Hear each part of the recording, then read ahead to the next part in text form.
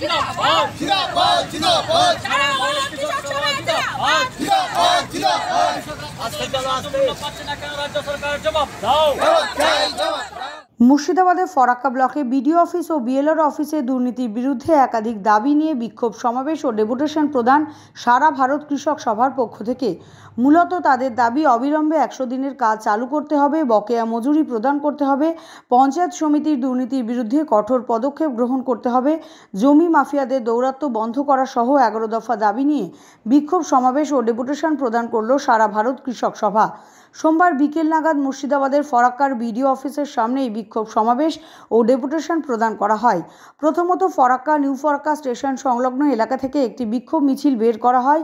সেই মিছিল ফরাক্কা বিডিও অফিসের সামনে এসে শেষ হয়। তারপর ফরাক্কা বিডিও অফিসের সামনে বিক্ষোভ সমাবেশ ও ফরাক্কার বিডিওকে ডেপুটেশন প্রদান করা হয়। উপস্থিত ছিলেন কৃষক সভার জেলা সভাপতি সচ্চিদানন্দ কান্ডারি, কৃষক সভার ফরাক্কা ব্লকের সম্পাদক শ্যামল মিশ্র, সভাপতি বাসুদেব সাহা, ফরাক্কা ব্লক সিআইটিইউ সভাপতি দিলীপ মিশ্র ডিওয়াইএফআই সভাপতি হিমাংশু শেখর সাহা, সিআইটিইউ নেতা মোজাফফর হোসেন সহ একাধিক কর্মীরা।